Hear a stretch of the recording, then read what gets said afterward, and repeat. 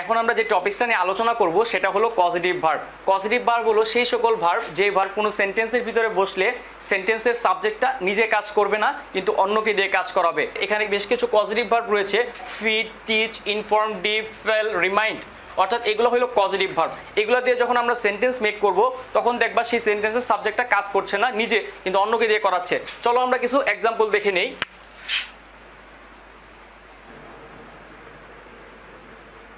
এখানে দেখো ভাইয়া মাদার ফিডস হার্ট চাইল্ড অর্থাৎ মা তার শিশুকে খাওয়াচ্ছে।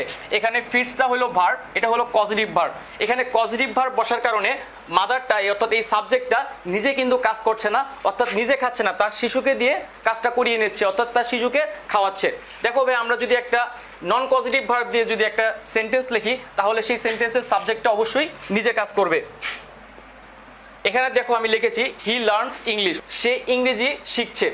এখানে দেখো সাবজেক্টটা হলো হি অর্থাৎ হিটা কিন্তু সাবজেক্ট সাবজেক্টটা কিন্তু নিজে কাজ করছে, অর্থাৎ নিজে কিন্তু জিনিসটা শিখছে। ঠিক একই রকম ভাবে যদি আমরা এগুলো সব ভার্ব দিয়ে যে কোনো সেন্টেন্স মেক করি, তাহলে ওই সেন্টেন্সের সাবজেক্টটা নিজে কাজ করবে, কিন্তু পজিটিভ ভার্বের ক্ষেত্রে নিজে কাজ করবে না। হ্যাঁ আজকে আমি পজিটিভ ভার্ব সংক্রান্ত তোমাদেরকে এখন একটা বেসিক ধারণা দিলাম। আমরা এখন চলে যাব পজিটিভ ভার্বের পাঁচটা কিওয়ার্ড দিব, এমনকি চারটে স্ট্রাকচার দিব। পাঁচটা কিওয়ার্ড দিলে, পাঁচটা কিওয়ার্ডকে তোমরা দেখেই খুব সহজে মনে রাখতে পারবে যে এটা পজিটিভ ভার্বের প্রবলেম বিশ্ববিদ্যালয় সহ যে কোনো কম্পিটিটিভ এক্সামে আসা পজিটিভ ভার্ব সংক্রান্ত প্রবলেমগুলো তোমরা খুব সহজেই সলভ করতে পারবা। এমনকি পাঁচটা কিওয়ার্ড মনে রাখতে পারলে তোমাদেরকে স্ট্রাকচারগুলো তোমরা খুব সহজেই আমি মনে রাখার সিস্টেমটা বলে দিব। এমনকি আমি লাস্টে কোশ্চেন ব্যাংক অ্যানালাইসিস করব। যে যেই টাইপের কোশ্চেনগুলো হয় পজিটিভ ভার্ব থেকে সেগুলো আমরা দেখব।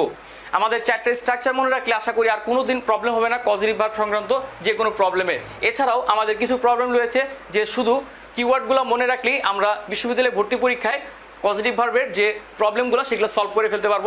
সেগুলো আমরা আমাদের ক্লাসের শেষ দিকে আমরা কোশ্চেন ব্যাংক অ্যানালাইসিসের মাধ্যমে দেখিয়ে দিব। চলো ভাইয়া, আমরা স্ট্রাকচারগুলো এবং কিওয়ার্ডগুলোর দিকে যাই। চলো আমরা পজিটিভ ভার্বের স্ট্রাকচারগুলো এবং কিওয়ার্ডগুলোর সাথে পরিচয় হয়ে নিই। এখানে আমি তোমাদেরকে পাঁচটা কিওয়ার্ড দিয়েছি, যেগুলো তোমরা দেখলেই পজিটিভ ভার্বের যে রুলসটা আছে সেটা তোমরা ইউজ করবা। কিওয়ার্ডগুলো হলো let make help get help এই পাঁচটা হলো কিওয়ার্ড এই পাঁচটা কিওয়ার্ড যেমন মেক মেক যে শুধু ভার্বের বেস ফর্ম থাকবে এমন না পাস্ট অবস্থা থাকতে পারে ভার্বটা পাস্ট পার্টিসিপল অবস্থা থাকতে পারে। হেল্পও ঠিক একই অবস্থা। পাঁচটা অবস্থা থাকতে পারে ভার্বটা পাস্ট পার্টিসিপল অবস্থা থাকতে পারে। গেটও ঠিক একই। পাস্ট পার্টিসিপল অবস্থা থাকতে পারে পাস্ট অবস্থা থাকতে পারে। হ্যাভ ভার্ব হলো তিনটা হ্যাভ হ্যাজ হ্যাড এই অবস্থা থাকতে পারে। এই পাঁচটা কিওয়ার্ড যখন কোনো সেন্টেন্সের ভিতরে আমরা খুঁজে পাবো, তখন আমরা পজিটিভ ভার্বের যে স্ট্রাকচারগুলো আমি তোমাদেরকে বুঝাবো, সেই স্ট্রাকচারটা আমরা অ্যাপ্লাই করব এবং খুব সহজেই আমরা কারেক্ট অ্যান্সারটা খুঁজে পাবো সেন্টেন্সের ভিতরে। আচ্ছা চলো আমরা দেখি।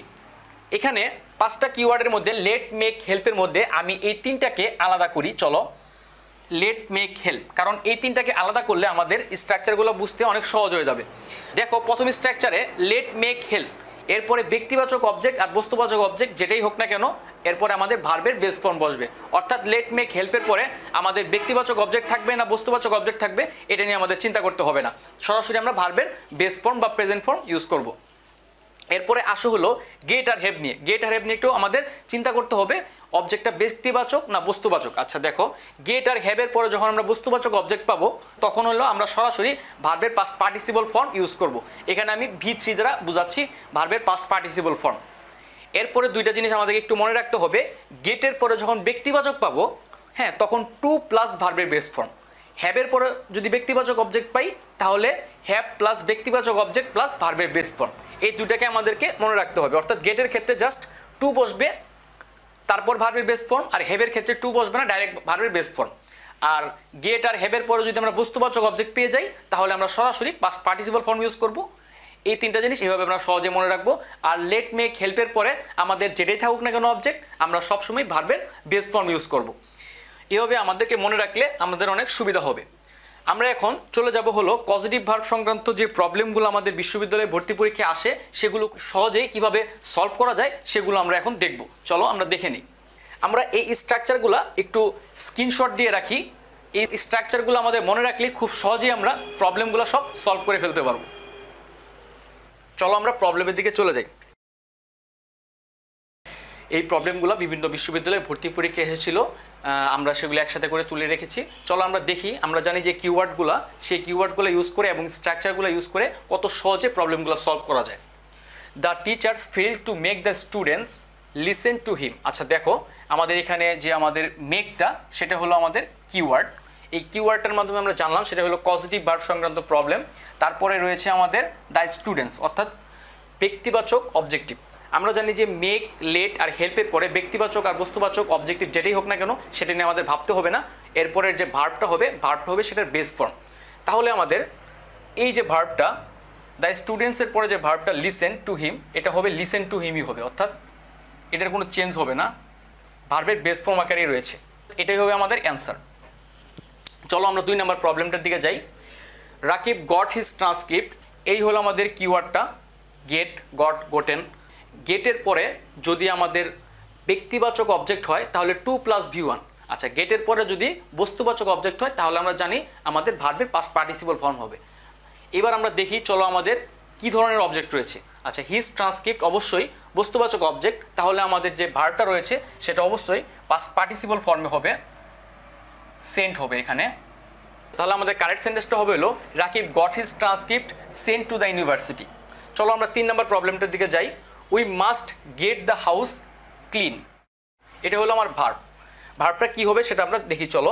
এই হলো আমাদের কিওয়ার্ড কিওয়ার্ডটার পরে গেট আছে, তারপরে আমরা দেখলাম যে অবশ্যই দ্য হাউস সেটা হলো বস্তুবাচক অবজেক্ট আচ্ছা বস্তুবাচক অবজেক্ট হলে অবশ্যই এরপরের ভার্বটা পাস্ট পার্টিসিপল ফর্মে হবে। তাহলে আমাদের কারেক্ট অ্যান্সার হবে হলো we must get the house এখানে ক্লিন হবে। চলো আমরা চার নম্বর প্রবলেমটার দিকে যাই। She got her hands burn. এখানে এটা হলো গড। গডের পরে হলো হার হ্যান্ডস। হার হ্যান্ডসটা অবশ্যই বস্তুবাচক অবজেক্ট।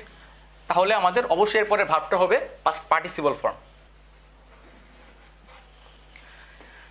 চলো আমরা পাঁচ নম্বর প্রবলেমটার দিকে দেখি। উই হ্যাভ টু আছে, এখানে আমাদের হেল্প রয়েছে। হেল্পর পরে ব্যক্তিবাচক আর বস্তুবাচক অবজেক্ট যেটাই থাক না কেন অবশ্যই ভার্বের বেস ফর্ম অর্থাৎ এখানে ফাইন্ড ফাইন্ডই থাকবে। তাহলে আমাদের কারেক্ট সেন্টেন্সটা হচ্ছে we have to help her find her kiss চলো ভাইয়া, আমরা একটু অন্য নতুন টাইপের একটা প্রবলেমগুলো দেখি। কীভাবে অতি সহজে আমাদের বিশ্ববিদ্যালয়ে ভর্তি পরীক্ষায় যে প্রবলেমগুলো কম সময়ের ভিতরে কীভাবে সলভ করা যায়। অলরেডি আমরা পাঁচটা কিওয়ার্ড জেনে গেছি পজিটিভ ভার্বের let make help get happen এই পাঁচটা কিওয়ার্ড দেখো এখানে বলেছে যে pick out the sentence with positive verb অর্থাৎ এই চারটা সেন্টেন্সকে পড়তে হবে, পড়ার মাধ্যমে আমরা পজিটিভ ভার্বকে ফাইন্ড আউট করতে হবে।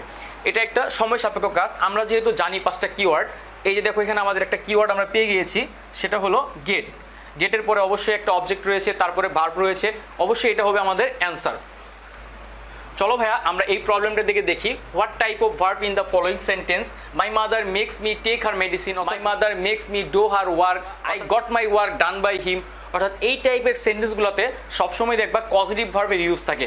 পজিটিভ ভার্বের ইউজ থাকে, তাছাড়াও আমরা খুব সহজে সেটা ফাইন্ড আউট করতে পারি পাঁচটা কিওয়ার্ড ইউজ করে। আমরা এখন সবাই কিওয়ার্ডগুলো জানি। এখানে দেখো মেক্সটা হলো আমাদের কিওয়ার্ড সেই কিওয়ার্ডটা পাওয়ার পরে আমরা এটা অবশ্যই বুঝে গেছি যে এই সেন্টেন্সটাতে পজিটিভ ভার্বে ইউজ হয়েছে। সুতরাং এটাই হলো আমাদের অ্যান্সার আজকের পজিটিভ ভার্বের লেকচারটা এই পর্যন্তই থাকছে। আশা করি অন্য সময় অন্য লেকচার নিয়ে তোমাদের সামনে উপস্থিত হব। আর তোমরা কোশ্চেন ব্যাংকটা সলিউশন করবা। কোশ্চেন ব্যাংক সলিউশন করলে তোমরা দেখতে পাবা যে পজিটিভ ভার্ব রিলেটেড যে কোনো কোশ্চেনগুলো, বিগত বছরগুলোতে বিভিন্ন বিশ্ববিদ্যালয় সহ কম্পিটিটিভ এক্সামগুলোতে এসেছে। তোমরা এই ক্লাসটা করার পরে সেগুলো খুব সহজেই সলভ করতে পারবা। আশা রাখব যে তোমাদের ভর্তি পরীক্ষাটা তোমাদের খুব ভালো হবে। এমনকি আমি তোমাদের সাথে বিভিন্ন টপিকস নিয়ে আলোচনা করব। যে টপিক্সগুলো আমাদের ইন্টারমিডিয়েটে ছিল না, কিন্তু আমাদের অ্যাডমিশন সহ বিভিন্ন কম্পিটিটিভ এক্সামে খুব দরকার হয়, সেই টপিকসগুলোই আমি আগে তোমাদের সামনে উপস্থাপন করার চেষ্টা করব। আজকের ক্লাসটা এই পর্যন্তই থাকছে।